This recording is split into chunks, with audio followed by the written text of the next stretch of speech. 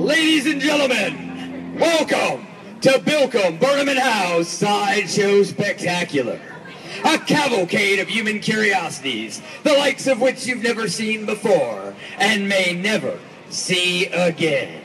Tonight on this stage, you will bear witness to classic acts of the sideshow and modern day miracles performed live right before your eyes. But be warned, this is not a magic show.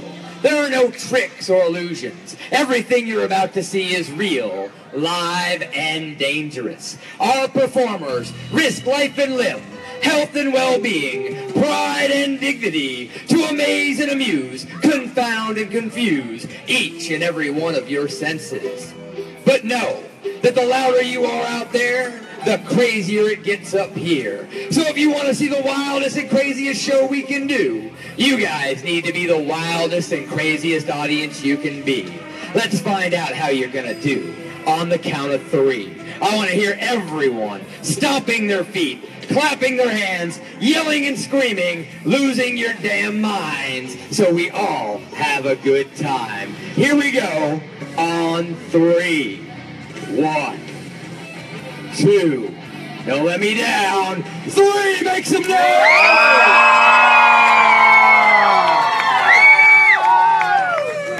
Excellent.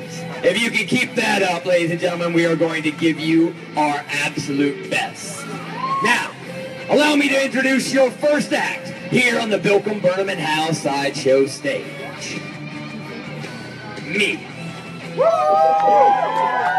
Thank you. These guys get it. Folks, my name is the Lizard Man, and I will be your host here tonight at Bill Burnham House Sideshow Spectacular. Now, in case you're wondering, I do want to point out that no, this is not a costume. That's right, I woke up like this. There's no costume paint or makeup on my body. What you're looking at is over 700 hours of real permanent tattooing. But it's just the start. Because you may have already noticed these horned ridges over my eyes. They were created by having Teflon surgically implanted onto my skull. And my teeth, well, they've been filed down into sharp points. Check them out. But of course, the reason I'm known as the Lizard Man, well, that's my tongue.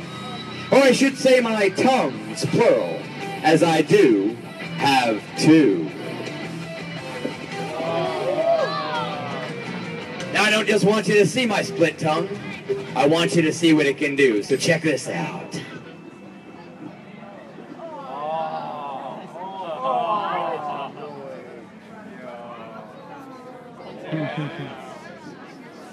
Ah, you like that one, huh, ma'am? they all do. But folks, I didn't travel all the way here just to wiggle my tongues at you. Oh no. I want to share something special with you. It's a little device I like to call my cranial corkscrew. That's because it's a corkscrew for my head. Here's how it works. I'm going to take the tip of it and jam it up my nose. Then I'm going to turn the handle. Because the more I do, this corkscrew will travel through my sinus cavity, down the back of my throat, and ultimately come out my mouth, completely transversing my skull. So if you've got a camera, if you've got a camera phone, if you've got a sketch pad, hell, if you've got an Etch-a-Sketch, get it out and get it ready. Because now is your opportunity to record a completely tattooed freak screwing himself for your entertainment.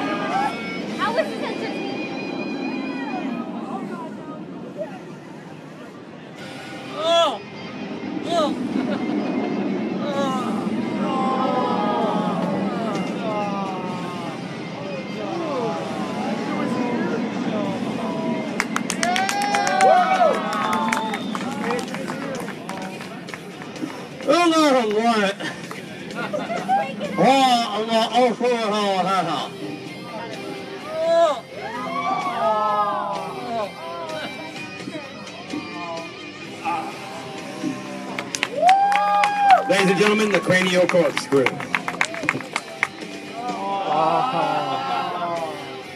Salty. if you're having a good time, let me hear you say yeah. Fantastic. Now we are just getting started here at Bill Burnham House, ladies and gentlemen. Right now what I want to do is bring out to the stage our next incredible performer. Please put your hands together and welcome her to the stage, Catalina Askew.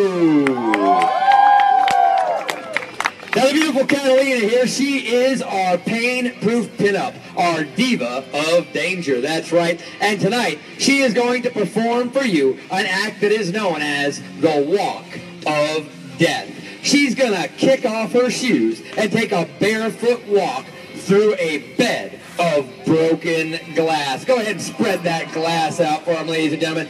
Look at it, it catches the light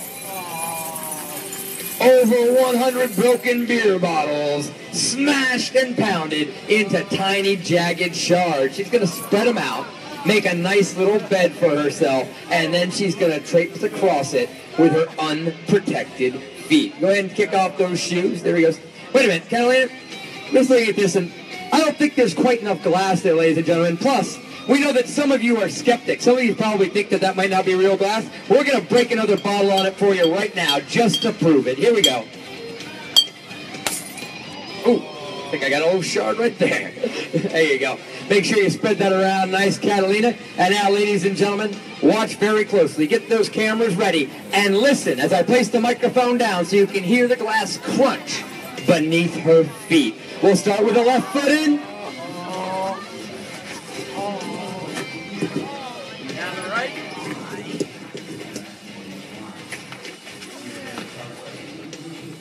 Do you think, ladies and gentlemen, so far of Catalina Askew on the bed of glass? All right, that was good, ladies and gentlemen, but right now we're going to double the danger. So I want to hear double the applause as Catalina doesn't just stand and walk in the glass, but jumps on it. We're going to do it in three, two, one, jump! One more time. Okay, two, that was good. All right, Catalina, please step off the glass. Show them the soles of your feet. She will emerge completely unscathed, ladies and gentlemen. Brush off those last little shards. There it is. Come on, put your hands together for the Princess of Pain, Catalina Askew. Now, folks, here at Bilka Butterman House, we don't just give you one. We don't just give you two. We present in every show no less than three amazing performers. And our featured act here tonight is a man you're going to recognize from AMC's Freak Show, from Ripley's Believe It or Not, and the Guinness Book of World Records. Please put your hands together for the one and the only, Murrugun, the Mystic. Rugen! Thank you very much, Lizard. I want to hear everybody. I've traveled 3,000, over 3,000 miles to be here. Come on! Thank you very much. I'm going to present an act right now, but I will give heed. If anyone is pregnant, has a heart condition, or is just ill at constitution, I suggest that you leave immediately.